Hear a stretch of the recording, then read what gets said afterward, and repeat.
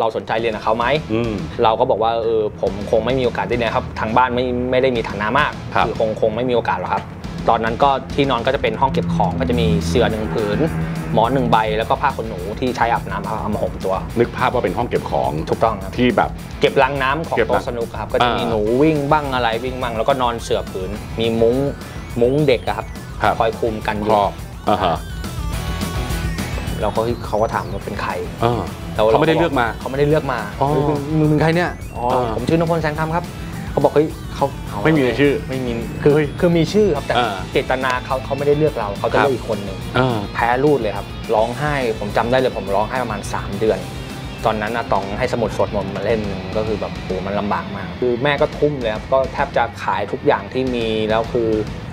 ตอนนั้นโต๊ะเริ่มไม่มีลูกค้าแล้วครับต่อให้ลอนนี่อะ ลอนนี่ยังเต้นเลยครับเพราะว่าทุกคนมีหัวใจหมดครับ ครับแต่ว่าใครคุมได้ดีกว่ากันอ่า เท่านั้นเองถ้าผมไปทำงานหรือเรียนหนังสือผมก็ไม่รู้จะจะรอดไหมนะ เพราะว่าเรียนก็ไม่เก่ง ครับ ความรู้ก็ไม่มี คือสนุกนี่ต้องบอกว่าเป็นทุกอย่างของผมเลยวันนี้ เพราะว่าทำให้ผมมีทุกวันนี้จำได้ว่าแมตช์สุดท้ายนี่คือชิงแชมป์โลกก็คือแพ้ 13 ผมชี้ขึ้นฟ้าเลยแล้วจะกลับมาชนะให้ทุกคนเลย ตอนนั้นคือแพ้หมดเลยตอนนั้นคือแบบคนเราอะ